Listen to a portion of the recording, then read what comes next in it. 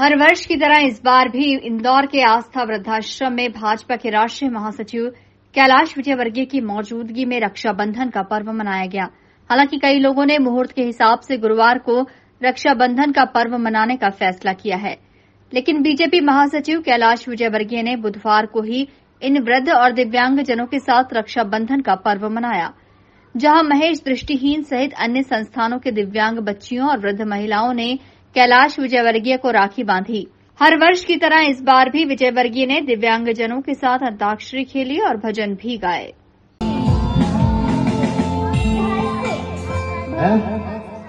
किस पे गाना भाव भाव भालू का। भाव हेलो।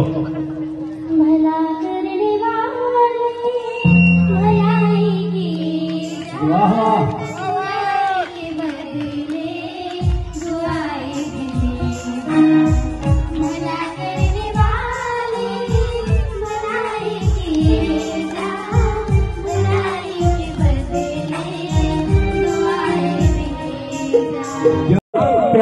के तूफानों में गिरे हैं हम क्या करें?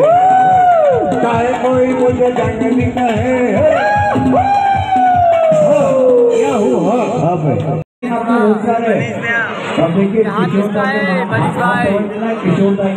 ताली बजा जरा एक जोरदार अभी गाना सुनाएँगे और आपके साथ अंताक्षरी तो एक बार हम सब चाहेंगे आप बच्चों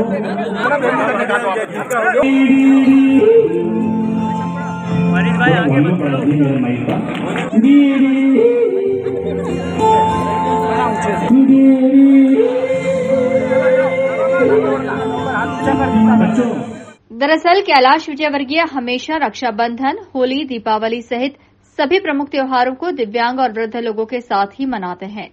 उनका कहना है कि इन लोगों के बिना त्योहार अधूरा सा लगता है। लिहाजा इन लोगों के बीच पहुंचकर मन प्रसन्न हो जाता है।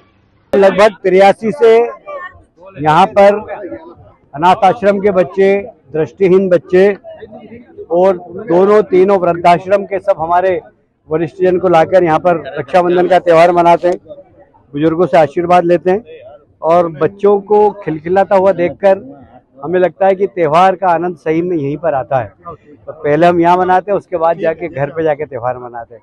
तो इस त्यौहार का आनंद एक अलग ही है। देखिए, प्यार हमेशा बढ़ता ही है, कम नहीं होता कभी भी। आप अगर करेंगे तो लोग आपसे कई गुना ज़्यादा करेंगे।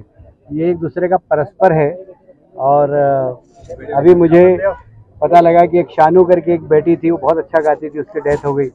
तो एकदम उसकी माँ ने कहा कि मैंने शानू का आवाज़ ही बोलो तो चली गई। तो मन में दुख भी होता है। बहुत सारे बुज़ुर्ग जो पिछले साल थे वो इस बार नहीं है। तो मन में पीड़ा भी होती है उनके जाने का दुख भी होता है। अ, फिर भी बहुत आनंद आता है बहुत मज़ा आता है।